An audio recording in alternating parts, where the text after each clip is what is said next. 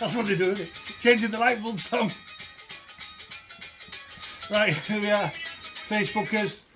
Uh, lovely to see you all, and it's a lovely day in Scarborough again. Let's keep our spirits up, and we're going to make a nice chicken madras type curry, full of flavour, and it's an authentic recipe that's been handed down uh, from my mother through Mrs. Mohammed, who was our neighbour, and they were fortune tellers on the promenade in Scarborough. How good is that? And they were Pakistanis and they come and give us this beautiful, shared this lovely recipe.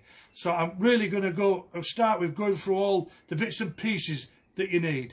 So really you need one of these, the Gucci cups here, because you've got to measure it. And I'll show you the measurements later on. So first of all, I'm going to show you what we've got. Fresh coriander, butter, you've got to use butter. And Mrs. Mohammed said the secret to her success was butter. Proper, not, not that ghee or oil out like that, or fat butter, onions, nice big fat onions, fresh chilies, fresh garlic, and then there's a lot of spices. Now what I do recommend if you're going to do this curry, go down the Asian shop and you get these, like 150 a pop, but they will last a long time. Whereas these come in there, they're about £2 a pop. We've seen them in, in the supermarkets. So I'll go through these very slowly for you. And then we have garam masala that's going to be included in the, recipe. And then I'm going to show you this. Sticks of cinnamon they're lovely they're nice things them. And then we've got some I like these not everyone's cup of tea cardamom pods. I shove them in whole like that. Cloves we all know all about them in Ireland. We shove them in our lemon in our hot whiskey which we love so much. Irish penicillin I call it turmeric very very healthy stuff we know about that two packs of them. Chili, we'll go into that later on when we go through measuring because it's up to you how much you put in. And then we've got coriander powder and ginger. So there's a lot of spices. But once you get set, it might cost you £20 to get set up.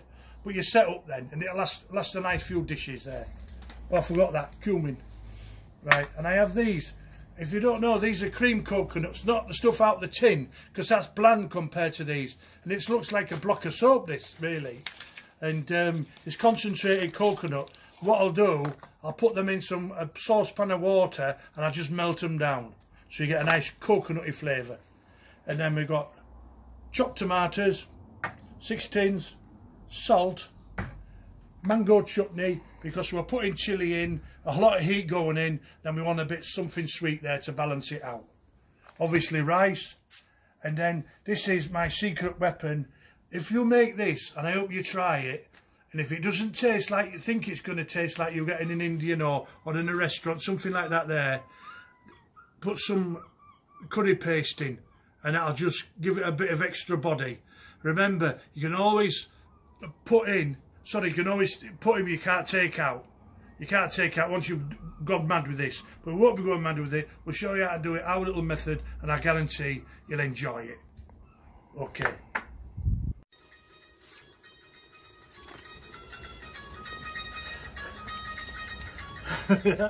right, we're back at it. Just come forward here, Dan. Just pan on this. Look, this is my pot and my little camping stove here. I'll tell you what I've done. I've chopped all them onions up the chilies and we took the garlic in afterwards and then we just made them nice and soft. Now you've got to be prepared for this. I'll just take that off a sec. So I've got the um, what have I got there, Dan? Coconut, and, and I've rendered it down in milk. I said water in the previous thing, but it is milk, not water. And then I've got this, uh, obviously, my mango, tins of tomatoes, chicken, because we're making a chicken curry, and that's all the spices. I'm going to show you how to do this in a correct sequence. The first thing is we throw all the chicken in. There's enough for about six or eight people this this uh, dish. So there's a two and a half kilos of chicken. There's been six onions put in there, the garlic and the, and, and the uh, chilies all chopped up there, look. So there we are. Now we chuck the meat in. I'll give it a little stir like that. Now this is the difference. If you just pan on it, Dan, on top, there's all, can you see that? There's all the spices and they all go in together. like that. And now there's about a third, without spilling it on the floor, a third of a Gucci cup for each one, apart from salt and chili, because that's to taste, that is, whatever you like it, salt, too salty or, or too much chili, it's up to you, there's a two minute. Give it a nice colour, that will. Right, so this is why it's going to be different from a, a stew, because we mix it all up, Dan, if you just look, look at there, look. And it, it's like working on a building site out like this. Everything's getting coated in these lovely spices. So this is what it's supposed to look like. So I keep I keep just turning it around like that. So everything gets coated up. Okie doke. So you must have everything prepared quick. Every, your tins your tins of tomatoes opened, your coconut rendered down.